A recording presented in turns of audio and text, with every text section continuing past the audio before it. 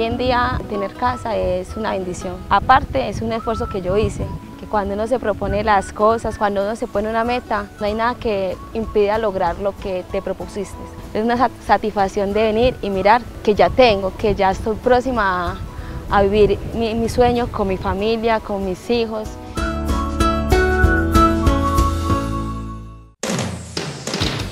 La parroquia Nuestra Señora de las Mercedes muestra en un completo video cómo se realizan los protocolos de bioseguridad para el ingreso a la iglesia. Un comité de la gobernación, contratistas y personal de planeación municipal visitó la construcción de la escuela Vallejuelito Peñas para ultimar detalles. Campañas en contra de la drogadicción en niños y jóvenes realiza la Policía de Infancia y Adolescencia en convenio con la administración y la gestora municipal. La empresa de servicios públicos hace un balance general de proyectos, obras y demás en lo que va corrido de este año. La mesa de juventudes se reunió en el Parque Educativo Futures pensando en los jóvenes y buscando nuevas estrategias.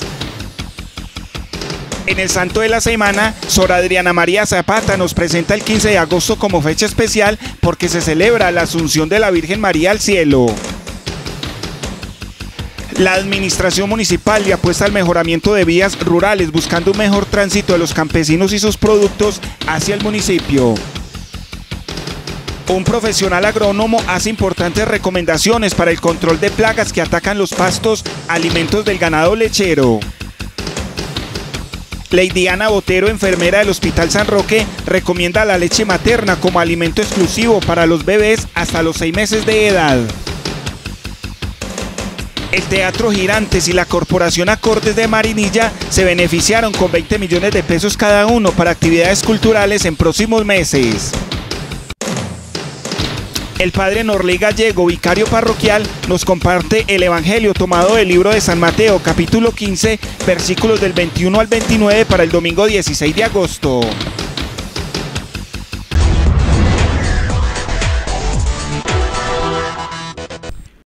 El pasado domingo 9 de agosto, la parroquia Nuestra Señora de las Mercedes inició los protocolos de prueba para la apertura de la iglesia. El padre Norbey Gallego nos explica en el siguiente video y de manera muy detallada cómo se realizan estos protocolos de bioseguridad.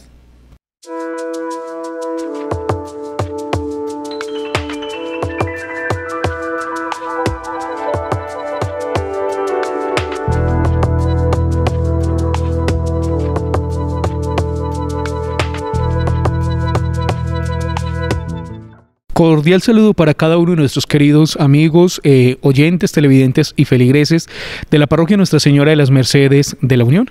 Como bien seguramente ya hemos escuchado a través de los diferentes medios de comunicación, eh, según la resolución 050 del 27 de julio del 2020, por medio del cual la alcaldía del municipio de la Unión Antioquia ha dado inicio al piloto de apertura de nuestro templo parroquial.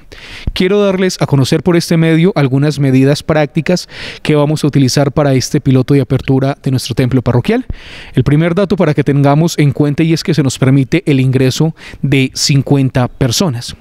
¿Cómo va a funcionar? De lunes a viernes el ingreso va a ser eh, con pico y cédula correspondiente al pico y cédula que maneja la administración municipal. La alcaldía de la Unión, esa misma manera, nosotros tendremos ese pico y cédula para las personas que van a ingresar a alguna celebración o sí, alguna celebración eucarística o litúrgica. También es declarar que para las personas que tienen las intenciones, como muchas veces las personas no, no les coincide con el pico y cédula, tendremos una excepción de 20 personas que pueden ingresar sin pico y cédula que sean correspondientes a la intención. Es de aclarar de que todas las personas, tanto de las intenciones como no de las intenciones personas, otras personas deben de hacer la inscripción en el despacho parroquial al teléfono 556-0963, hacerla el día antes. Me hago entender.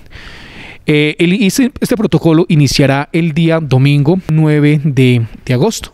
¿Esto qué implica? Que para las personas que van a ingresar el día domingo deben de hacer la inscripción en el despacho parroquial o la reserva el día sábado. Las personas que van a ingresar el día lunes a la Eucaristía deben de, hacer la inscripción en el despacho parroquial vía telefónica el día domingo. Así sucesivamente. ¿Esto para qué?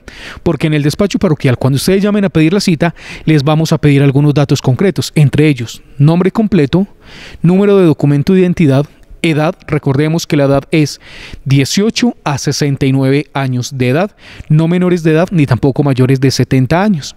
Les vamos a pedir eh, su número de teléfono, su dirección. Son algunos datos que les vamos a pedir para tener en cuenta. Les invito para que en este momento hagamos un recorrido por nuestro templo parroquial explicándoles cuáles son las medidas y protocolos que vamos a tener en cuenta para la apertura de nuestro templo.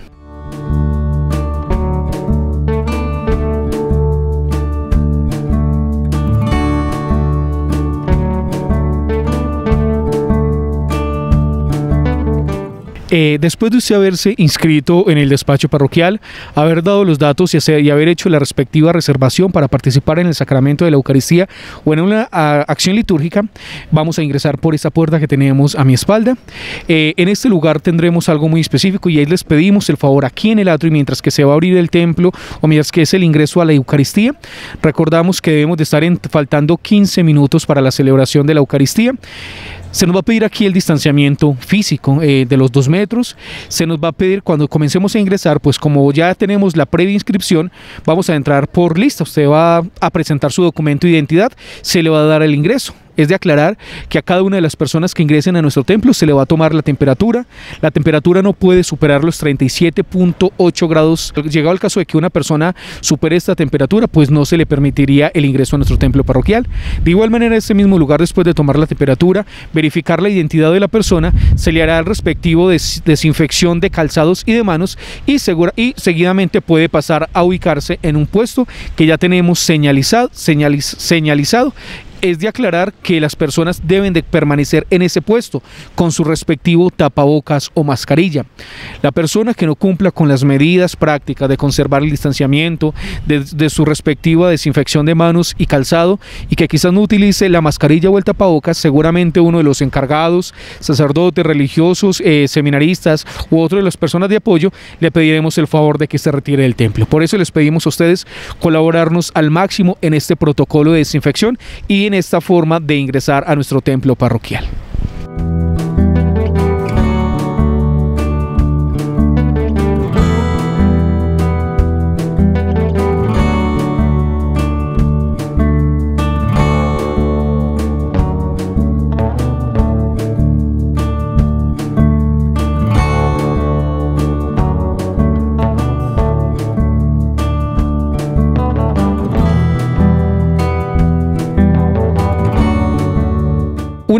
Ingresemos todas las personas que están en lista al templo parroquial, cada una conservará su ubicación.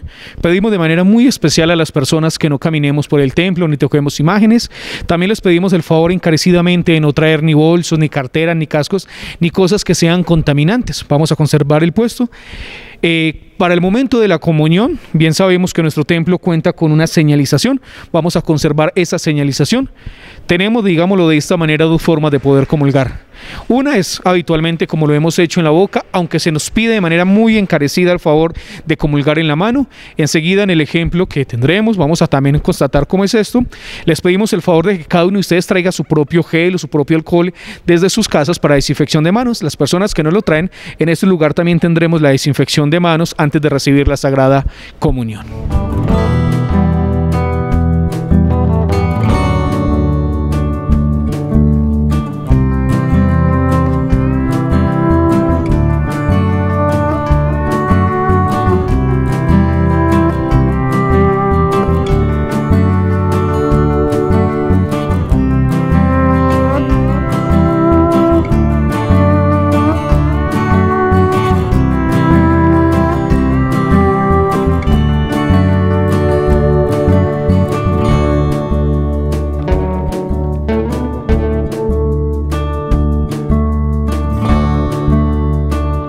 Terminada la celebración de la Eucaristía o la acción litúrgica, les pedimos el favor a todas las personas salir automáticamente eh, del templo. Nadie se puede quedar en adoración eucarística ya que tendremos la desinfección del templo parroquial. La salida pedimos también el favor de conservar el respectivo distanciamiento, el orden y pedimos de manera muy especial que las personas que van a participar de la Eucaristía vengan de la casa al templo y del templo a la casa para que de pronto visitando esos lugares no seamos nosotros focos de contaminación. A ustedes gracias, gracias por este, por este aporte, por lo que nos hacen, por lo que nos colaboran para este protocolo y vuelvo e insistimos si es tratemos de cumplir las medidas de bioseguridad que es por el bien de todos, por la salud de todos. A ustedes muchísimas gracias y con todo el cariño nuestro templo parroquial abre las puertas para recibirles con la alegría que nos caracteriza de ser hijos de Dios, miembros de esta nuestra iglesia.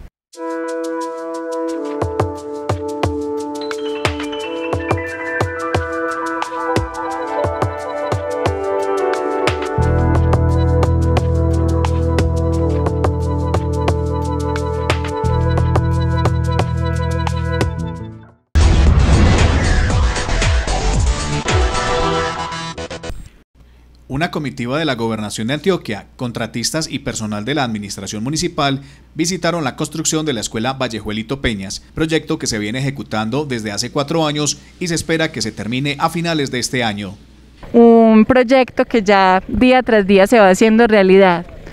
El proyecto nace hace ya más de cuatro años cuando por necesidad, ante todo, de que los niños tuvieran un lugar óptimo donde estudiar y mi interés pues de que ellos tuvieran una escuela digna y ya son más de cuatro años trabajando en este proyecto y ya vamos muy adelante en él. Este proyecto ha tenido varias fases.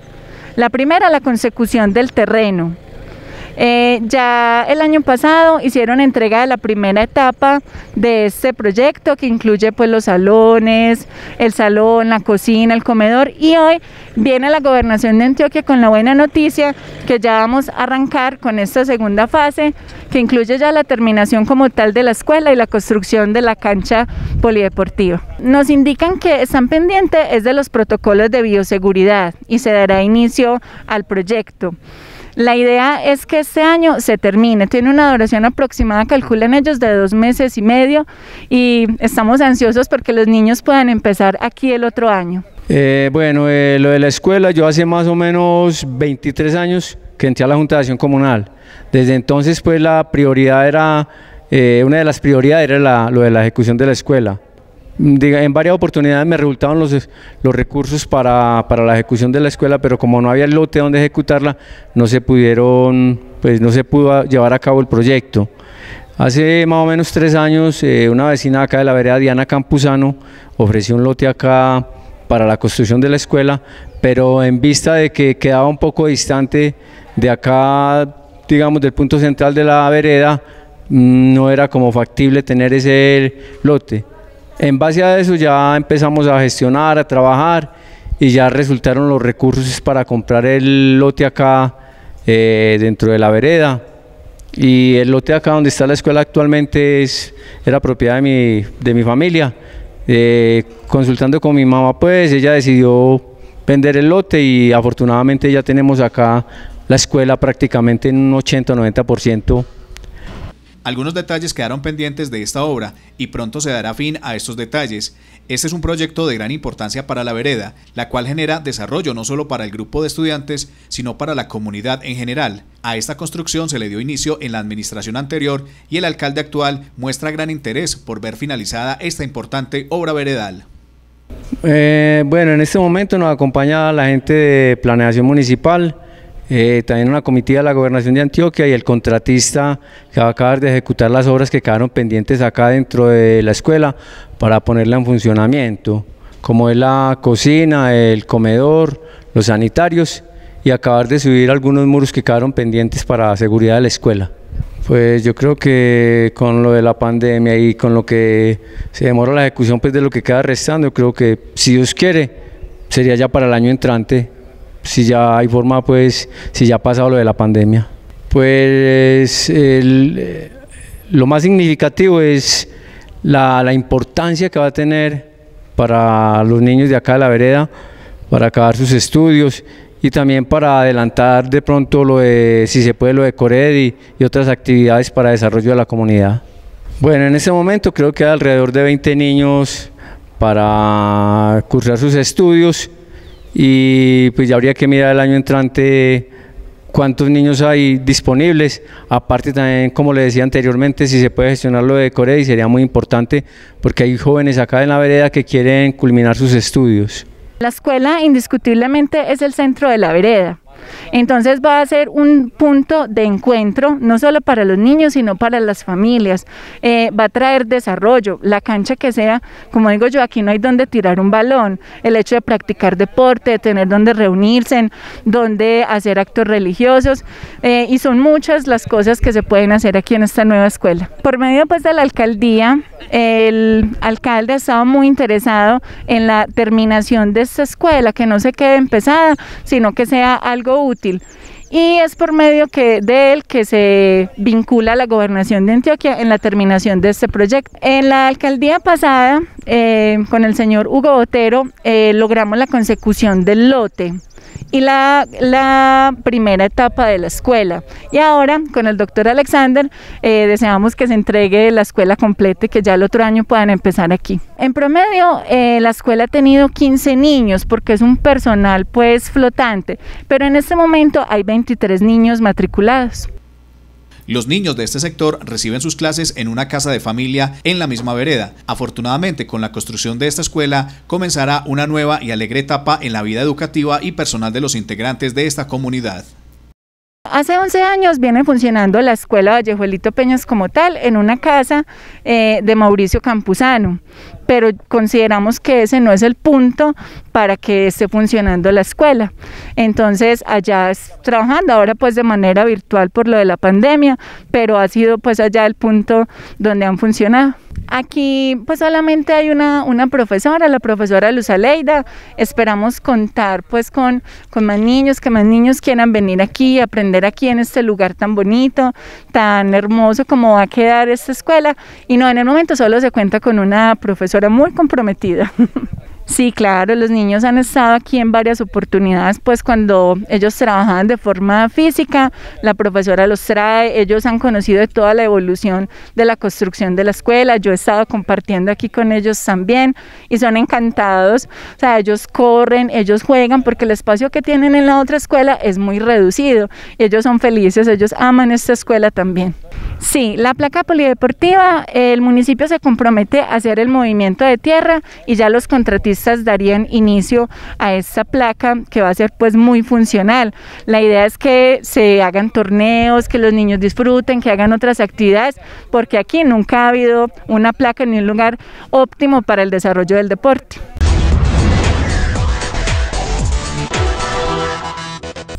La Policía de Infancia y Adolescencia, en articulación con la Administración Municipal, inicia ciclo de capacitaciones en prevención de sustancias psicoactivas, con el objetivo de orientar a nuestros jóvenes sobre la problemática de este flagelo. El día de hoy, aquí en el sector del cementerio, en articulación con la Administración Municipal, Secretaría de Desarrollo, Secretaría de Salud, nuestra primera gestora del municipio, eh, iniciamos este ciclo de, capacitaciones que lo vamos a, ir realizando y es trabajando el tema de la prevención al consumo de sustancias psicoactivas. Lo hacemos con niños, niñas y adolescentes. Hoy tuvimos una niña de los 6, de 6 años hasta 17 años, con el fin de que de orientarles eh, en esta temática. Se les enseña pues eh, todo lo que tiene que ver con la problemática que trae el consumo de estas sustancias a nivel familiar, a nivel social, eh, con el fin de que ellos reflexionen y también incentivando a que cumplan su proyecto de vida, que cada uno se ponga metas a futuro y que puedan cumplir. Estábamos teniendo una charla sobre la drogadicción. Pues me, me pareció muy importante porque podemos tener como reflexión que eso no nos lleva a nada, nos lleva solo a la perdición pues que, me gustaría mucho que no, que no cayeran en esos vicios y que sigan sus... Mi sueño es ser peluquera. Estaba en una charla que trataba sobre la drogadicción. La charla me pareció buena y, yo siempre he dicho que, que estas charlas se se deben hacer constantemente para prevenir, ya que en el mundo que hoy estamos o la juventud que estamos ya están fijando más en las drogas que en el futuro de ellos. Eh, mi futuro planeo es ser veterinario, que nunca quedamos en este mal, que esto es como, esto es un vicio que, que es muy fácil de entrar pero difícil de salir. Y al final de la salida siempre nos vamos a arrepentir de, de todas las cosas malas que hicimos. Y sí, y la invitación es que, que nos prevengamos, que, que si nos ofrecen algo, digamos siempre no. Que muchas gracias, que esta charla me pareció muy buena y sirve, y sirve para la prevención. La drogadicción es un tema que afecta por lo general nuestra juventud. La idea es tener un acercamiento en el mismo ambiente donde ellos se mueven. También se profundizó en otros temas adicionales que genera la drogadicción. El tema de la drogadicción, no solo aquí en la Unión, es como una pandemia, es un problema que, eh, actualmente eh, tienen muchas comunidades. Entonces por eso que quisimos atacarlo. Aquí la Unión eh, tiene su problemática. Tenemos adolescentes ya consumidores y, y en realidad queremos es eso, incentivarlos a que, a que salgan de ese mundo, que busquen ayuda ahorita que son adolescentes. Es un, fue un espacio muy importante porque fue primero acercarnos a la comunidad en su mismo lugar de vivienda, que es donde viven y conviven con sus familias, donde viven sus experiencias, donde realmente incluso tienen eh, sus inicios en el consumo, por ejemplo, de, sustancia, de consumo de sustancias psicoactivas, que es la temática que nos trae el día de hoy. Em, nos acompañaron 20 jóvenes eh, y niños y niñas, había una niña de 5 años y jóvenes de 17 años que precisamente es una edad donde hay unos factores de riesgo adicionales, no solo por el consumo de sustancias psicoactivas, sino que también hicimos una reflexión frente a otras situaciones que vulneran la vida de los jóvenes, de los niños y las niñas, eh, las problemáticas, por ejemplo, de violencia intrafamiliar, de violencia sexual, eh, la problemática que tenemos en el municipio con la conducta suicida, porque es importante comprender que cuando hablamos de drogadicción, no es un hecho aislado de la vida, es una situación que se vive en muchas de esas familias donde hay unas problemáticas y que era importante acercarnos a la comunidad, acercar las instituciones, Policía de Infancia y Adolescencia, la Administración Municipal, la Gestora Social, la Dirección Local de Salud con sus políticas públicas, para poder realmente mostrar la cara de unas personas y unos representantes de nuestra comunidad que buscan encontrar una forma de solucionar y de prevenir. Lo ideal es prevenir, pero sabemos que nuestro municipio no solo es el trabajo de la prevención, sino que ya hay casos que tenemos detectados de jóvenes y que incluso desde, eh, aunque se dice que a los 13 años inician el consumo, pero hay casos también de niños y niñas de 9 años que están iniciando. Entonces es una labor muy importante de las instituciones y eh, fue una actividad que tuvo motivación, que tuvo participación, los jóvenes estuvieron receptivos, receptivas y eh, creo que es un, un espacio que nos motiva como institución y como administración municipal para que podamos continuar con estos espacios y recuperar los espacios físicos para convertirlos en lugares de participación, de recreación y de transformación. La gestora municipal acompañó este evento ya que ve importante tomarse en los diferentes escenarios del municipio y entregarles a los jóvenes diferentes espacios a menos que los entre en otros tipos de actividades ajenos a las drogas. Contentos de estar acá acompañando eh, a Dirección Local de Salud y, y el Policía de Infancia y Adolescencia Policía Nacional en este evento de promoción y prevención de la drogadicción. Eh, me parece demasiado importante que se hagan estos eventos en torno a cómo prevenirlo, eh, para que estos chicos no caigan en, este, en, este, en estos vicios y para que luchen por sus sueños.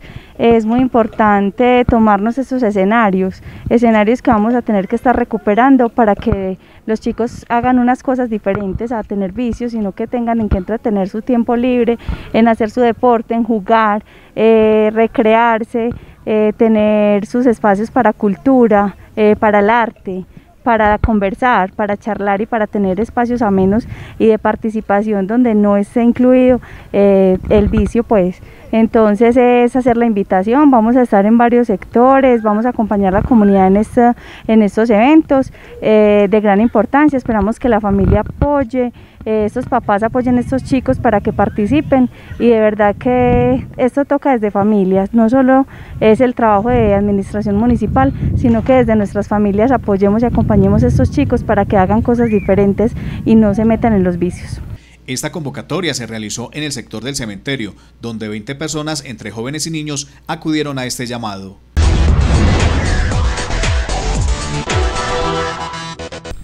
Carmen Judith Valencia, gerente de la empresa de servicios públicos, presenta a la comunidad un balance general sobre el funcionamiento de la empresa en los primeros ocho meses de esta administración. Bueno, eh, la empresa de servicios públicos eh, durante esta gestión la podíamos marcar financieramente hasta el mes de junio. Eh, tenemos hoy unos excedentes significativos, claro que la empresa está diseñada para invertir sobre ella. Financieramente está muy bien, administrativamente también está muy bien, a pesar de la pandemia, la gente tiene un hábito de pago muy bueno, lo que nos ha permitido que la empresa siga generando recursos y, al menos, y también generando inversiones. A nivel administrativo, la planta aquí de la oficina, el área administrativa fue pues reorganizada, se organizó el archivo, hoy tenemos archivo histórico en la empresa, también al ingresar la oficina de atención al usuario se organizó de una manera muy agradable para nuestros usuarios y para nuestros empleados. La oficina de gerencia también la organizamos. Mm, también compramos equipos de cómputo, tres equipos que estaban pues obsoletos. Eh, estamos aplicando las las normas contables internacionales al 100%. Estamos también ya con una contratación para la separación de los costos ABC en la contabilidad, que quiere decir que hoy podemos saber a futuro cuánto se gasta por aseo realmente, cuánto se gasta por acueducto y cuánto se gasta por alcantarillado. Eh, podemos hacer un balance pues a nivel alumbrado público en el convenio con la administración municipal. Hoy hicimos un cambio de 290 lámparas LED. Hicimos el inventario también de las lámparas existentes, estamos cerca de las 1.600 lámparas. Igual eh, estamos en el proceso de contratación de 195 lámparas nuevas. Vamos a hacer el estudio de expansión hacia el relleno sanitario, vamos a iluminar el relleno sanitario con el fin de tener esa zona iluminada para que próximamente o el año venidero ya estemos pensando en, prestar la recolección de una manera nocturna eh, igualmente vamos a iluminar tres canchas deportivas y un escenario deportivo aquí en el municipio. Eh, a nivel de acueducto hemos hecho mejoras de la planta de tratamiento de agua potable de la frontera. E igualmente ya hicimos el proceso de contratación para la instalación de unos floculadores en una de las piscinas que tenemos allá de floculación en la planta de tratamiento. Eh, hicimos también expansión para el lado de Villa, eh, Villa María, lo que hacia la Quebrada Negra, eh, y acueducto y alcantarillado, en convenio pues, con los urbanizadores de allá.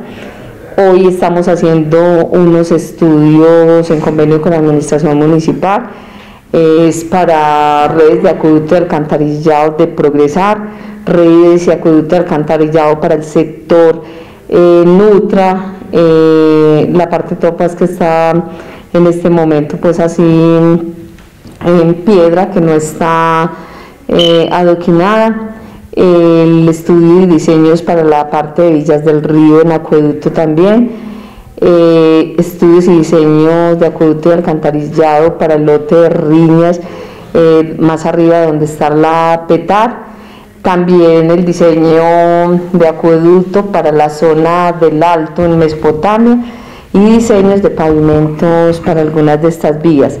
También estamos diseñando en este momento eh, los tanques que van a ofrecer agua hacia la zona sur, que es hacia Progresar. Entonces en este momento estamos pues en una etapa de estudios y diseños muy interesantes. Eh, presentamos el proyecto MIRS por 116 millones de pesos a Cornares, ya tiene pues la viabilización total, nos falta nada más organizar unas cositas para arrancar también con ellas. La política pública de agua las venimos operativizando. En este momento estamos haciendo todo el diagnóstico de los acueductos veredales y vamos a empezar ya jornadas de capacitación. Tenemos eh, clubes juveniles, los estamos montando también en la caseta de reciclaje, estamos haciendo la caseta de reciclaje donde queda la planta de riñas, más o menos una construcción de 200 metros. Y terminada esta construcción vamos a hacer la caseta de compostaje también en el relleno sanitario. O sea, son un montón de actividades, también ya estamos en diseños de los alumbrados, a partir de mañana ya eh, nos pasan una propuesta para las estructuras que yo quiero hacer o que la empresa quiere hacer, entonces estamos trabajando de una manera decidida. Eh, en este momento estamos en mesa técnica con el Ministerio de Vivienda para el proyecto de la línea externa en Mazorcal, lo revisaron pues, pero hay que hacerle unas unas mejoras a ese proyecto, ya se lo devolvimos pues a los diseñadores y también eh, se presentó el acueducto de Chuscalito que también hay que hacerle unas mejoras. Eh, también tenemos en la Secretaría del Medio Ambiente presentado dos proyectos para compra de tierras, una en la de Mazorcal y otra en La Palmera. Mm, en este momento también iniciamos con proyectos en asocio con la UMATA, de limpieza de quebradas. Eh, entonces son un montón de proyectos que vienen y que muchos de pronto se nos escapa. A nivel de recursos humanos hemos trabajado capacitación para nuestros empleados. En cuanto a responsabilidad social, también tenemos mm, el SENA, una tecnología en gestión de recursos humanos. Hemos gestionado diferentes cosas pues para la empresa, en asocio con Confama estamos brindando bachillerato a los adultos, o sea que hemos hecho un montón de cosas y que esperamos hacer muchas más en asocio a toda la comunidad. Esperamos que este tiempo de pandemia pase rápidamente para que se agilicen muchos procesos que hoy de pronto están detenidos, eh, esperando que los chicos vuelvan a los colegios, esperando que todo se normalice.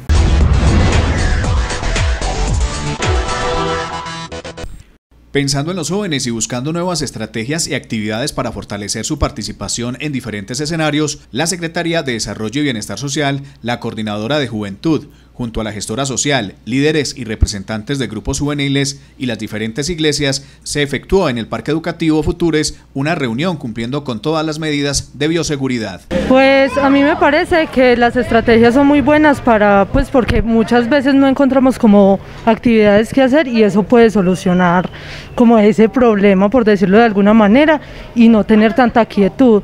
Entonces son actividades eh, pues que acompañan mucho al joven y muy muy interesantes me parece a mí, pues como para fomentar como más cultura. Em, pues sí, como em, buscar también actividades que estén interesados siempre o hayan estado interesados a hacer, puede ser mediante la música, el deporte y muchas otras actividades, eh, las cuales puedan darle como otra oportunidad y puedan como em, despertar cosas nuevas en los jóvenes y pues y así poder descubrir que pues que no todo tiene que ser como con ayuda de otra persona, sino también por mérito propio.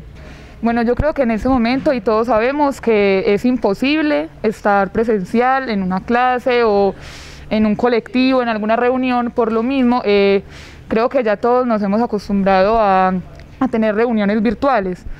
Entonces yo creo que en estos momentos es donde tenemos que apoyar y, confiar que mientras no se pueda volver a la presencialidad, tenemos que seguir eh, aprovechando al máximo eh, todo y no dejar desperdiciar el tiempo. Porque, pues, por ejemplo, no sé, las personas que están en música, eh, pintura, se pueden reunir igual así. No va a ser lo mismo, pero nos tenemos que acostumbrar. Eh, empezando por eso que los jóvenes somos los más desjuiciados, pues yo creo, no estoy de acuerdo. Que hay muchos jóvenes que, que salen, sí, pero también hay que tener en cuenta que no somos los únicos, pues eh, no sé, un, domingo se pueden ver los señores adultos en el parque sin tapabocas hablando, entonces yo creo que no, no es el hecho de que nos metan la culpa, ¿cierto? Pero bueno, yo creo que es darles un mensaje y es que eh, si queremos que esto termine, sabemos que es por nosotros, utilizando el tapabocas, el distanciamiento. Entonces yo creo que es tener fe y pues seguirnos cuidando. En dicho espacio se generaron análisis de las necesidades de los jóvenes del municipio, a la par que se prepara la Semana de la Juventud con sorpresas en el sector educativo, el ámbito de emprendimiento, además de los concursos para los jóvenes de la zona rural y urbana. Muchas de las propuestas son demasiado importantes, más aún porque son propuestas que para los jóvenes son nuevas, en ciertos aspectos. Por ejemplo, tenemos eh, una propuesta que es muy, muy buena, es la propuesta de incluir jóvenes veredales. Esos jóvenes siempre en el municipio casi siempre han tenido un, un cierto, una cierta desinclusión. Entonces es demasiado importante para, para los jóvenes del municipio eh, contar con estos jóvenes veredales, ya que la mayoría son jóvenes de las veredas. Bueno, no, percibir es para percibir este encuentro muy, muy satisfactorio porque son, son jóvenes que tienen unas propuestas diferentes, unos ideales distintos y demuestran que la juventud tiene un liderazgo y puede llegar a, a un mejor futuro. Eh, la verdad muy contenta en esta reunión, eh, fue una reunión muy amena con, donde hubo mucha receptividad por parte de todas las, eh, las comunidades y por todos los grupos que hacen parte de esta comunidad de la juventud. realmente fue una reunión fructífera donde se dieron muchas ideas con, en torno pues, a la Semana de la Juventud. Eh, se dieron ideas muy importantes para unas actividades muy, muy enriquecedoras y donde vamos a mostrar cosas muy importantes y resaltar eh, cuál es el papel del joven en nuestra comunidad. Entonces, eh, así que invitarlos para que estén atentos a esta semana que va a traer grandes sorpresas, grandes retos y cosas muy importantes para todos. Participación, innovación, creatividad, emprendimiento, cultura, medio ambiente, deportes serán las grandes apuestas de nuestra administración para fortalecer los procesos juveniles. Además, se aprovechó la reunión para presentar la nueva coordinadora de la política pública de juventud. Bueno, yo soy Alejandra Galeano Valencia, soy la nueva coordinadora de la política pública de juventud y voy a ser entonces quien va a estar apoyando todos estos procesos juveniles eh, a través de la plataforma municipal de juventud. Bueno, en realidad la política pública está en proceso de desarrollar un plan estratégico para tomar acciones para eh, ponerla pues a correr. Eh, me voy muy contenta porque en realidad los jóvenes en la Unión son muy voluntariosos y están muy animados con el tema y eso es lo importante, que haya motivación. Entonces nada, de aquí en adelante lo que nos queda es trabajo.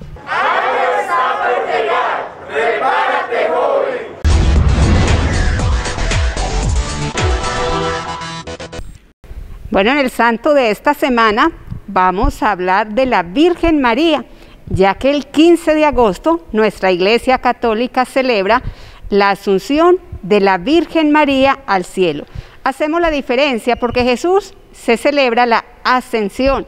Quiere decir que Jesús subió solo por sus medios al cielo. En cambio, la asunción significa que María fue llevada por los ángeles. ¿Qué conocemos de la asunción de la Virgen María? Reconocemos que es un dogma de fe. Dicen que el primero de noviembre de 1950 el Papa Pío XII proclama este dogma de fe. Es donde toda la Iglesia Universal conoce y entiende que María fue subida a los cielos, que su cuerpo no fue un cuerpo corrupto como las demás personas, que se destruyó, que fue enterrado, no. Nos cuentan que María fue asunta al cielo como es un dogma de fe, no conocemos más explicaciones y no podemos ponernos a razonar. ¿Qué nos sirve a nosotros como católicos reconocer la asunción de la Virgen María? Es una prefiguración de que todos nosotros, católicos, tenemos que luchar por llegar al cielo tenemos que hacer obras buenas, vivir bien, porque nuestro sueño es llegar a encontrarnos con Jesús en la eternidad. Por eso es una gran celebración, es una solemnidad. Todos los dogmas de fe que en la iglesia tenemos acerca de María se llaman solemnidad, porque es esa oportunidad de nosotros reconocer todas estas formas de fe que no tienen explicación. Por eso es un dogma. Nosotros vamos a poner también nuestro corazón en ese amor a la Santísima Virgen. No solo pensar que es un día festivo, sino pensar que nosotros vamos nutriendo nuestra fe en el conocimiento que tenemos de María, que nos lleva de la mano a Jesús. Bueno, que nuestro corazón esté siempre puesto en el cielo, con ese deseo de estar al lado de Jesús y de María, pero que nuestras obras terrenas nos lleven a ese encuentro con María y con Jesús.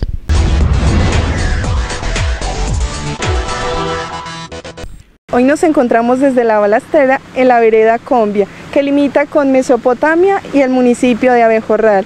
Aquí se encuentran haciendo la realización y extracción de material para la vía de nuestro corregimiento. Bien, eh, desde hace ya la semana pasada venimos trabajando acá en este proyecto, lo que es conocido como la zona del buey. El día de día mío como operario de la máquina es como comenzar labores desde seis y media, 7 de la mañana, trasladarnos. Eh, en sí mi trabajo, lo que yo me enfatizo es en lo que tiene que ver con la extracción de material en las diferentes balastreras para diferente, diferentemente ser despachado y depositado, eh, pues ya sea en la parte de la vía que sea necesario. Es en ese momento aproximadamente lo que se tiene eh, contemplado son por ahí 6 kilómetros. Eh, de pronto se está dialogando una prórroga para un tramo más, pero ya eso ya pues está a disposición de las autoridades. Bueno, el material que nos estamos extrayendo es de gente de acá, pues de una cantera acá mismo en la vereda. Eh, el propietario de la finca pues, nos accedió a, darnos el material para el beneficio pues, de todos. Es un material bastante bueno, el adecuado como para el, el, arreglo que se está haciendo, que es más bien como emparejamiento de vía, más no de como de afirmamiento, sino emparejamiento. Entonces es un material idóneo ya pues revisado por, todas las personas que están competentes en el proyecto y autorizado y, la comunidad pues está conforme. Eh, pues lo que ve uno es que es con la gestión y con el mancomunamiento de muchas personas para poder llegar a, un feliz pues arreglo y que todas las personas sean beneficiadas del proyecto. La administración municipal le apuesta al mejoramiento de vías rurales. En esta oportunidad se benefician las comunidades campesinas del corregimiento de Mesopotamia y sus veredas. Las buenas relaciones con la administración del Carmen de Viboral permiten que estos trabajos se ejecuten de la mejor manera. Tengo una propiedad en la vereda de Yarumal y vengo constantemente por acá y el estado de la vía ha sido pésimo, pero bueno, veo que la están arreglando en estos momentos y veo que está quedando súper bien, están haciendo como muchas obras. Hasta el momento lo que veo bajando, sí, muy bien, por supuesto que sí, es un ahorro de tiempo y un desgaste del vehículo mucho menor. Oh, ya varios años, varios años, pero sí, últimamente ese estado es un pésimo estado, pero en este momento sí veo que le están trabajando en forma y espero pues que sigan así, que continúen y que le hagan mantenimiento. No, no, no, bien beneficiados porque uh, uno pasa por aquí, hay tres, cuatro veces a la semana y, uno siempre anda cargado y sí, pues muchas gracias por, pues, por tenernos en cuenta y colaborarnos porque pues tanto para la hereda y todo porque podemos sacar los productos y todo. Le agradezco al municipio de La Unión por esta actividad que está haciendo en la carretera hacia Bejorral. Muy beneficiado por esto. Muchas gracias. Porque es que esta es una vía muy importante porque, muy importante porque esto va hasta Abejorral y coge también parte de Santa Bárbara, mejor dicho por aquí se transporta para muchos lados, entonces nos beneficia muy, beneficio muy bueno para todos. Entonces está mucho, mucho, mucho, lechero, por aquí se mueve mucha carga. es una cosa hermosa lo que está viendo el alcalde un, fue un espacio muy importante porque fue primero acercarnos a la comunidad en su mismo lugar de vivienda, que es donde viven y conviven con sus familias, donde viven sus experiencias, donde realmente incluso tienen eh, sus inicios en el consumo, por ejemplo, de, sustancias, de consumo de sustancias psicoactivas, que es la temática que nos trae el día de hoy. Em, nos acompañaron 20 jóvenes eh, y niños y niñas. Había una, precisamente es una edad donde hay unos factores de riesgo adicionales, no solo por el consumo de sustancias psicoactivas, sino que también hicimos una reflexión frente a otras, de los jóvenes, de los niños y las niñas, eh, las problemáticas. Igualmente, y gracias al convenio interinstitucional que se firmó entre las administraciones de la Unión y el Carmen, se logró intervenir tres comunidades veredales limítrofes entre estos dos municipios. Estas son las Acacias, La Madera y Mazorcal. Eh, yo quiero como dar unas gracias muy especiales a las dos administraciones municipales porque se viene cumpliendo unos acuerdos que se firmaron el pasado 22 de febrero eh, del 2020 en nuestra comunidad donde hubo una sesión descentralizada de los dos consejos municipales, el Carmen, la Unión, eh, ya que uno de esos acuerdos fue el mantenimiento de estas vías, de 12 kilómetros de, vías que tenemos acá en la comunidad pues para intervenir que se, encuentran, se encuentran en muy mal estado, pero ya pues empezaron a hacer este mantenimiento, donde vienen pues ya viene quedando muy buena esta vía, ya que estas vías estaban en tan mal estado que estaba hasta difícil transitar a pie. Eh, ya con estas vías y ya cumpliendo pues estos acuerdos y que llega ya las administraciones acá, eh, quedarán en muy buen estado y ya podremos pues sacar nuestros cultivos eh, en, estas carreteras pues ya más buenas y más organizadas, porque esto es una, una queja muy latente de todas las comunidades, entre ellas pues fue la, la queja más de acá en nuestra comunidad y por eso quisimos pues que, que estos dos municipios, ya que esta vida es, esta vereda, perdón, es limítrofe, que pertenece a los dos municipios, necesitamos pues que le hicieran este mantenimiento y ojalá se siga haciendo unos mantenimientos más continuos. Sí, esto es una vía que, esta vía es de Invías, esta es nacional, esta pues que ya comenzamos a, eh, muchos la ven como un ramal, pero no es un ramal, es una vía muy importante, es una vía de Invías.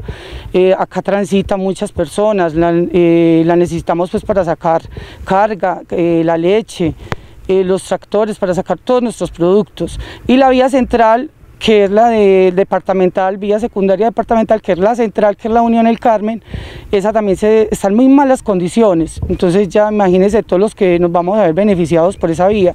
Somos muchas personas, tanto del Carmen como la Unión.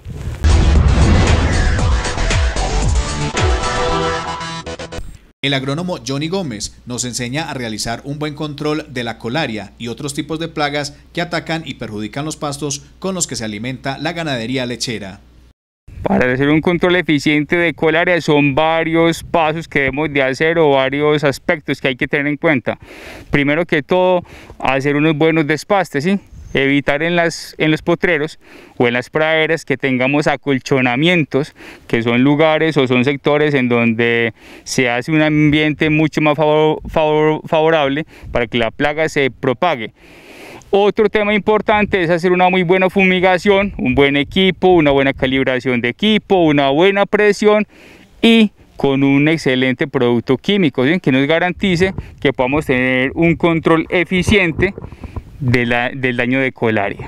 En este caso y para esta finca venimos haciendo unos trabajos muy interesantes con productos de la marca OMA, productos como Raudo, es un producto sistémico para el control de colaria el raudo es un producto que tiene registro ICA para uso en pastos y se utiliza una dosis de 0.25 centímetros por litro de agua o de 50 centímetros por caneca de 200 litros. Otro producto que tenemos para el control de plagas en pastos es el producto Casta. Casta es un producto también con registro ICA para uso en pastos y Casta se aplica una dosis de 0.5 centímetros por litro de agua o de 100 centímetros por caneca de 200 litros. Tenemos dos herramientas de la compañía OMA para el control eficiente de colaria en los pastos. Además, en esta finca también hemos tenido presencia de enfermedad en el pasto de un hongo que se llama el mitiosporum. Normalmente en la comunidad le decimos hongo o le decimos peca. Acá les tengo una hoja para mostrarle cuál es el síntoma. El síntoma del daño del, hongo es como si fuera una quemazón por un cigarrillo, pero muy pequeño. Es una mancha, digámoslo, redondeada. Entonces este hongo es un oportunista en los potreros porque la enfermedad llega después de que tenemos incidencias de plaga o daño por insectos. Es decir, es como cuando uno tiene una herida, no se desinfecta y llega una infección, en el pasto sucede lo mismo. Si tengo una herida, una lesión por, por un ataque de insecto, ya vamos a tener entonces una entrada o por una entrada favorable para las enfermedades, en este caso el hongo. En el mercado se encuentran varios productos muy efectivos para controlar este tipo de plagas, pero hay que seguir las recomendaciones del profesional para saber cómo aplicar y dosificar los productos. Acá en la finca manejamos en rotación dos productos muy eficientes para el control de este. El primero se llama Patrulla, es un producto que hace un efecto curativo, también hace un efecto también preventivo y se aplica una dosis de 0.5 centímetros por litro de agua o de 100 centímetros por caneca de 200. Otra herramienta para el manejo de hongo y para rotar para que no tengamos una aplicación constante de los mismos activos, utilizaríamos un producto que se llama Faro. Faro es un producto también sistémico, preventivo y curativo, muy eficiente para el control de este hongo que nos afecta en los pastos y la dosis también es de 0.5 o de 100 centímetros por caneca de 200 litros. Entonces, resumimos, tenemos dos, dos herramientas para el control de plagas, que es raudo y que es casta, y los, y los dos herramientas para el control de hongos, que sería patrulla y sería faro. Además de eso, tenemos otras herramientas o podemos encontrar otras herramientas en el mercado para nutrir nuestros pastos a nivel foliar. Es muy importante hacer aporte de elementos a nivel foliar en, en nuestros pastos, elementos como el calcio, que se absorben demasiado bien a nivel foliar y productos también como el fósforo y como el potasio que también se absorben demasiado bien a nivel foliar y es un complemento a la nutrición edáfica que hacemos en nuestras pasturas. Por ejemplo, una fuente de calcio muy eficiente para nuestros pastos, para que el tejido esté más fuerte, para que la pared celular de la planta y de todos los tejidos esté mucho más fuerte es el producto Fixer. Fixer es un fertilizante foliar para aplicar en nuestras pasturas para que esté más fuertes y la dosis es de 1.5 litros 1.5 centímetros por litro de agua y 300 centímetros por caneca.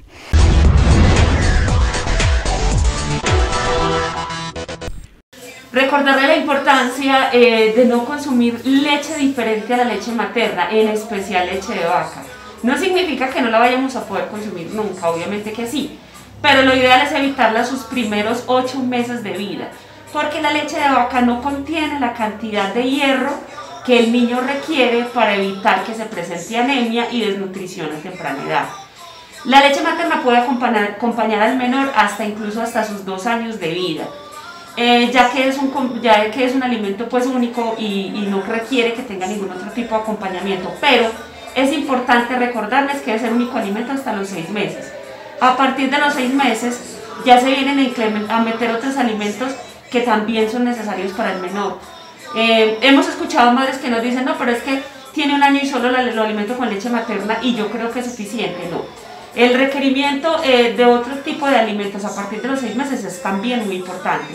Pero como único alimento, la leche materna hasta los seis meses debe de ser eh, lo que acompaña al menor. En cuestión de, inmunidad, la leche materna le produce o le da al niño eh, unas defensas muy grandes. Incluso se ha considerado que la leche materna debería de ser la primera vacuna y la única vacuna que el bebé debe recibir, ya que la cantidad de nutrientes y la cantidad em, eh, de, complemento que tiene la leche materna le va a garantizar un buen estado de salud y ayudarle al niño a que se defienda, defienda con contra muchas de las enfermedades que hoy en día nos acompañan, por eso es muy importante también. Eh, que el niño tiene sed, no hay necesidad de acompañarlo con agua, solamente la leche materna va a ser suficiente. Entonces ya vamos con el vínculo emocional, con el estado nutricional, incluso con el estado de inmunidad para el niño, va a ayudar a que se nos defienda contra muchas enfermedades. Por higiene, eh, anteriormente los niños se enfermaban de diarrea y vómito por infecciones y por virus traídos por los teteros, por los chupones, por el tipo de alimentación que se le estaba dando. La leche materna es completamente estéril, no requiere estar hervida, no requiere ningún tipo de manejo adicional, es solamente la disposición de la mamá con el bebé y del bebé con la mamá. También hay muchos mitos, nos dicen que un niño que nace pues no le gustó la leche materna, no es así. El niño no nace con gustos o con afines a, ciertas, a ciertos alimentos, a ciertas situaciones, no somos nosotros los que le debemos dar ese espacio, esa oportunidad e insistirle porque el niño obviamente no nace aprendido, el bebé lactante tiene que aprender. Como madres le debemos brindar entonces a la lactancia materna. El espacio debe ser el adecuado. También hay que tener en cuenta que muchas mamás no pueden lactar, no por el hecho de no querer, muchas veces la leche materna es muy escasa y no es suficiente para saciar el apetito del bebé o del, del lactante. Entonces, es importante que el consumo del alimento que la mamá está en ese momento, que está dedicada a la lactancia, debe consumir. Debe ser eh, nutrientes, deben ser alimentos ricos, debe ser un plato balanceado que le brinde nutrientes, que le brinde la hidratación suficiente para que la mamá pueda producir la leche que el bebé va a requerir. Entre más lactemos al bebé, más leche materna vamos a producir. Entre menos lo dejemos de hacer, obviamente, la necesidad, porque la lactancia materna va mucho en conexión del sistema de la madre neurológico y de la reacción de las glándulas mamarias. Entonces, si la mamá está eh, estresada, intranquila, inquieta, va a hacer que eh, la leche materna sea menos lo que se produzca. Mientras si la mamá va a estar tranquila, en un ambiente adecuado, dedicándole todo el tiempo que requiere la lactancia o los, eh, los 15-20 minutos que requiere esa alimentación a ese nene lactante, más tranquila va a estar, más leche va a producir. Entonces, no es perder la tranquilidad desde el momento que nace el bebé, es tener la confianza, es tener la certeza de que yo voy a poder lactar a mi bebé y que le estoy dando amor, le estoy dando nutrientes y le estoy dando todo lo que mi bebé requiere durante esos seis primeros meses de vida.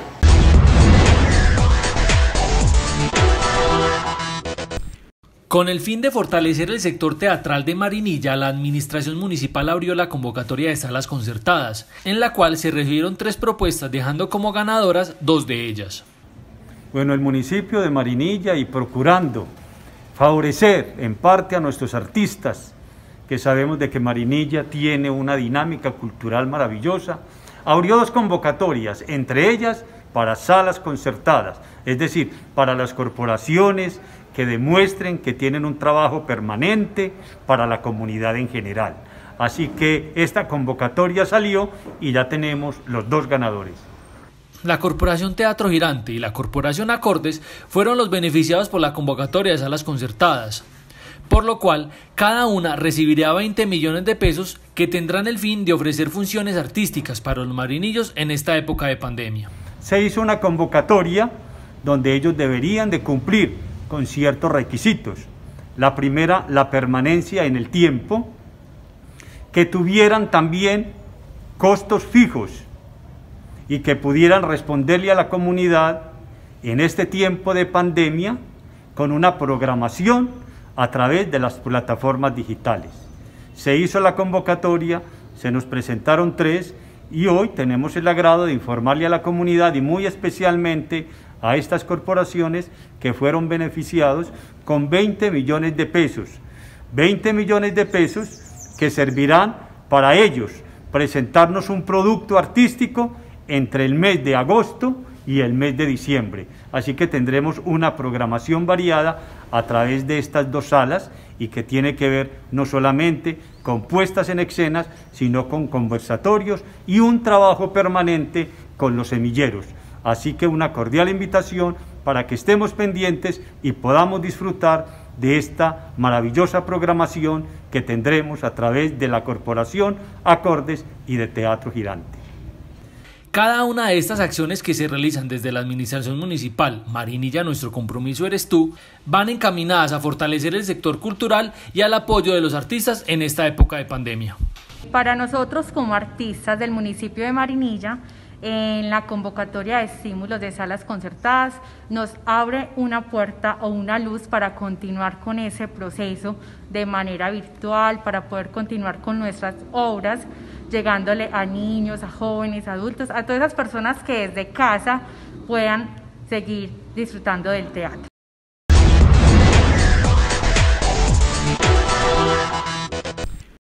Del Evangelio según San Mateo capítulo 15, versículos del 21 al, 20, al 29. Desde allí se fue a la región de Tiro y Sidón. Una mujer cananea de la zona salió gritando, Señor, hijo de David, ten compasión de mí. Mi hija es atormentada por un demonio. Él no respondió una palabra. Se acercaron los discípulos y le suplicaron, Señor, atiéndela para que nos siga gritando detrás de nosotros.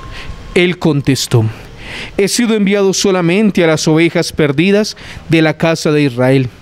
Pero ella se acercó, se postró ante él diciendo, Señor, ayúdame. Él respondió, no está bien quitarle el pan a los hijos para echárselo a los perritos. Ella replicó, es verdad, Señor, pero también los perritos comen de las migajas que caen de la mesa de sus, de la mesa de sus dueños. Entonces Jesús le contestó, mujer, ¿qué fe tan grande tienes? Que se cumpla lo que deseas. Y en aquel momento su hija quedó sana. Palabra del Señor. Gloria a ti, Señor Jesús.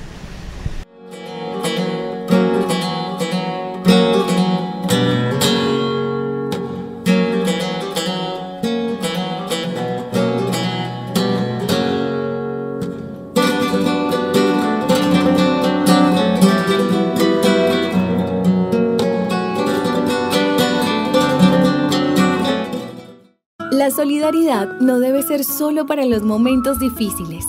Dar alivio y ser solidario debe ser de todos los días, tan natural como el hábito de lavarse los dientes.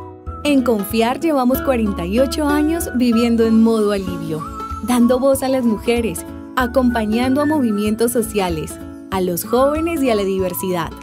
Vivimos en modo alivio enseñando a ahorrar con paciencia y a gastar con parsimonia. Y así seguiremos siempre.